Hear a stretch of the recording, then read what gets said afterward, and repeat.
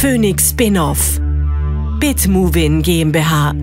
Adaptive Video Streaming over HTTP. Was uns als User die Freude am Videostreaming verdirbt? Buffering. Der HTML5 Adaptive Streaming Player ist der weltweit intelligenteste adaptive Videoplayer. Startet schneller, läuft ohne Buffering und erfordert keine Plugins.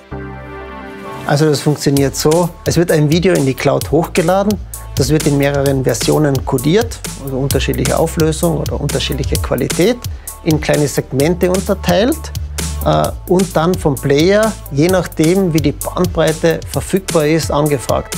Das heißt, wenn die Bandbreite hoch ist, dann bekommt man hohe Qualität. Wenn die Bandbreite niedrig ist, äh, bekommt man schlechtere Qualität.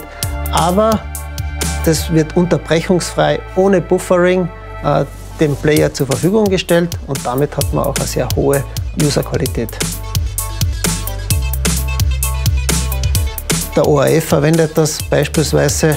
Dort kann man das erkennen, wenn man in der DVD auf den Restart-Button klickt dann ist unsere Technologie, äh, die dort verwendet wird. Eine weitere Anwendung ist äh, beim Video-on-Demand-Portal Flimit oder auch äh, eine, in einem Live-Szenario bei Krone Hit TV, wo 24 Stunden, sieben Tage die Woche Videoclips übers Internet gestreamt werden. Bitmovin war 2015 das erste österreichische Unternehmen bei Y Combinator und hat neben Klagenfurt seinen zweiten Standort in Palo Alto, Silicon Valley. Zur Weiterentwicklung der Videoinfrastruktur konnte Bitmovin in der bereits dritten Investorenrunde jetzt über 10 Millionen Euro einsammeln. Aktuell sind wir rund 25 Personen, die sowohl in Klagenfurt als auch im Silicon Valley an diesen Themen arbeiten. Aber wir wollen dies im nächsten Jahr weiter verdoppeln. Denn dann können wir uns auch komplexeren Themen zuwenden, wie der optimierten Übertragung von äh, Virtual Reality Inhalten.